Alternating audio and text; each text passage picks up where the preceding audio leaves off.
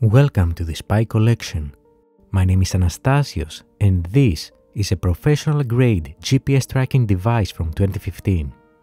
But why do we have it in our collection? Well, first, let's look at the device. This is called Geo F5 Global Tracker and it was manufactured by a US company named FreightWatch Security Net or FSN for short. The company was founded in 2005 in Austin, Texas, aiming mainly on government agencies and the transportation industry.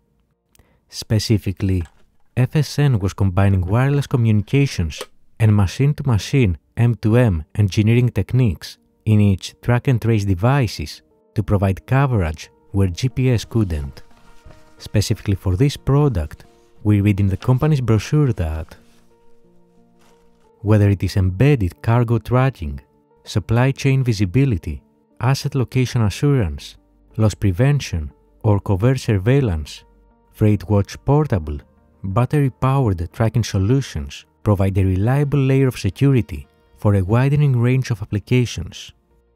And now you know how this is related to our content.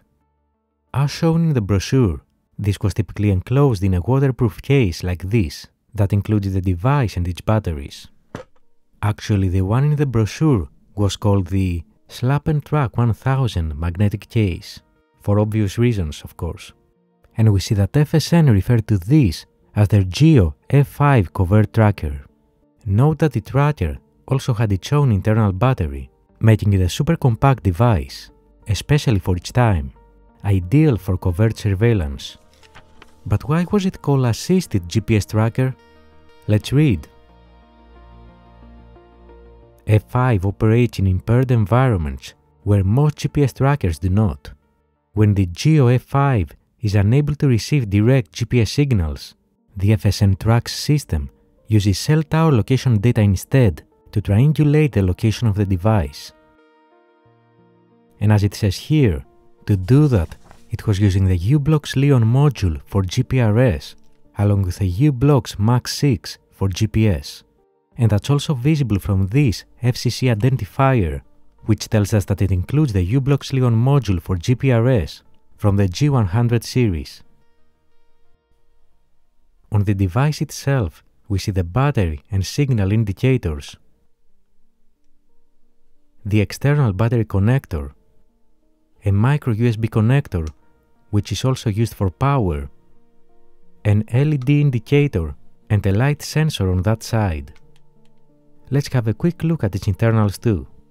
With this screw, we release the cover of the charging ports.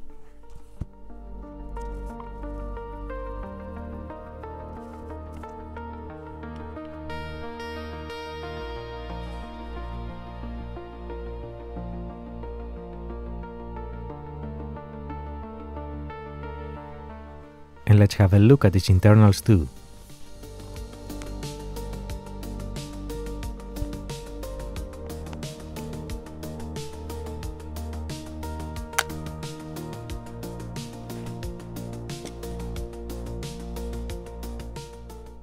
Apparently this is the internal battery. And right beneath it, we see the GPRS module with its SIM card. And on the upper part, you see the connectors for its antennas.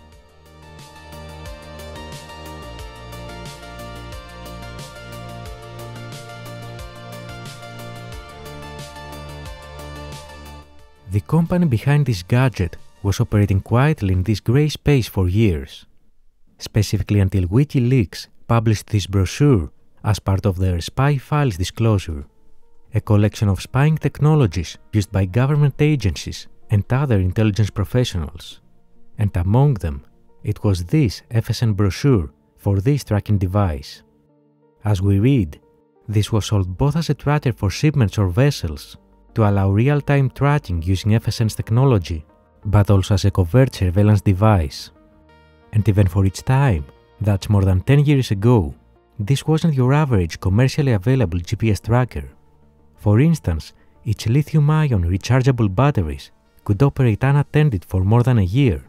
And if that wasn't impressive enough, as we read, apart from its high-quality GPS receiver, the Geo F5 was also using cellular networks to triangulate its location in case it was unable to obtain GPS signals.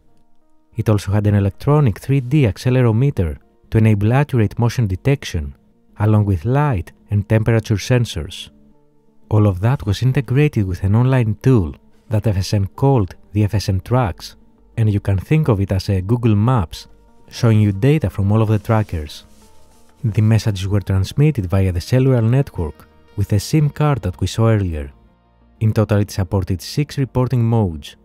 First, to transmit the location on demand. Second, do it periodically on a pre-configured schedule.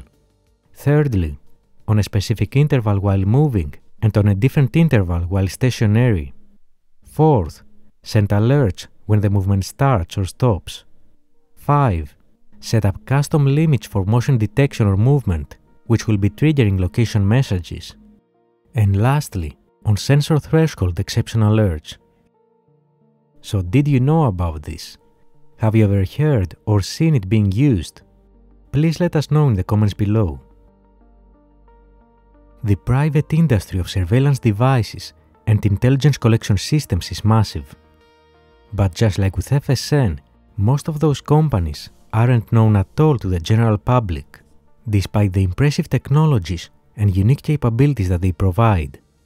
And it's another reason why we keep on saying that in this world, nothing is as it seems.